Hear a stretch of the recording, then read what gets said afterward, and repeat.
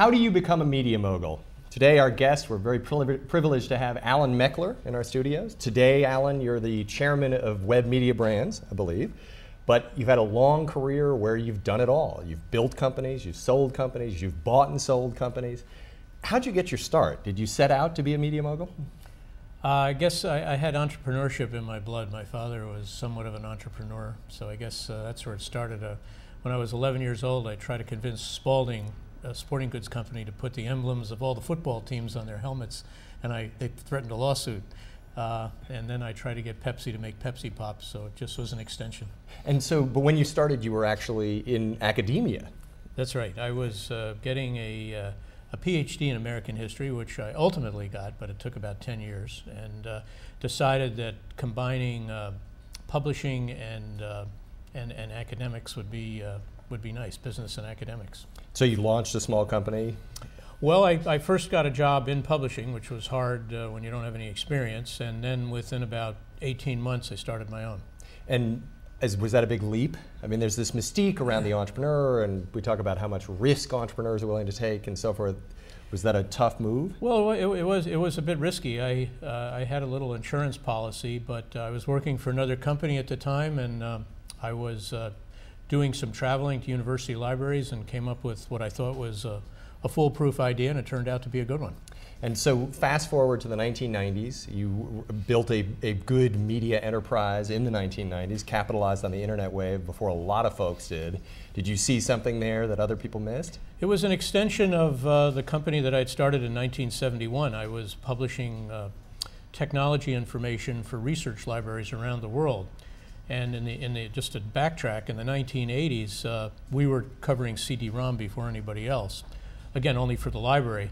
And uh, I happened to come across the internet in 1990. It was a natural extension from microfiche, microfilm, CD-ROM, and then to see uh, the internet. Now, when I first heard of the internet in 1990, it was only text-based, and, and no one knew about the World Wide Web coming. So I only saw it as, as the next thing for research libraries but I jumped on it. And then with internet news and, and so forth, I mean, the, the, thing that you have done again and again, it seems that a lot of people fail to do is you're willing to part with your companies and your properties when the price seems right. A lot of people sort of hang on, this is my life, my identity, and they go down with the ship eventually.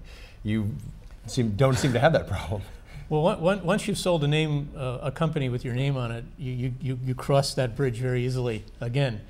But uh, I, I, think with business, uh, as an entrepreneur, I, I hate to be uh, crass with the, the, term, the term, but you have to be able to kill your young uh, and move on. You know, you can't get too married to an idea, and sometimes you just have a sense you've hit the top and it's time to get out.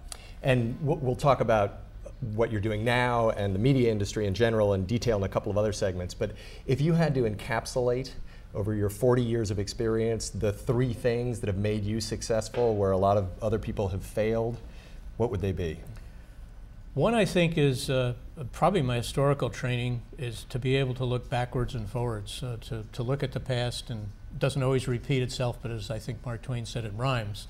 So to be able to sort of equate and say, oh, that, that, that, that might be the same thing that I saw before or, or, or close to it. So I, I, think, I think that that's actually uh, you know, the, the key factor. Uh, I'm not sure if I know any others, but that's certainly the key one. And, and, and of course, being willing to fail. A lot of people just can't handle failing. I don't. I hate to fail. I'm very competitive, but when I see a good idea, I'm willing to take a loss uh, to try it out. And talk about a failure that because uh, presumably the first thing worked.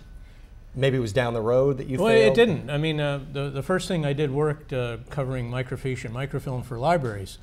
Uh, but uh, I tried too many things. Uh, I, I, think the other key is focus. Uh, from 1971 till about 1994, uh, I, for every success I had, I had one or two failures. Uh, but I was in a variety of different areas. I, I was publishing an antique boats uh, newsletter. I was publishing the first white collar crime newsletter in, in the history of white collar crime. Uh, but I also was publishing materials about CD-ROM and whatever. So I, I, couldn't focus my, my promotion budget and therefore uh, doing too many things, too many good ideas. And it wasn't until about 91 or 92 I said, this internet thing, is really going, I'm going to bet everything on this. And when I finally focused uh, is, is when uh, the success started to come. Great. Thank you, Alan.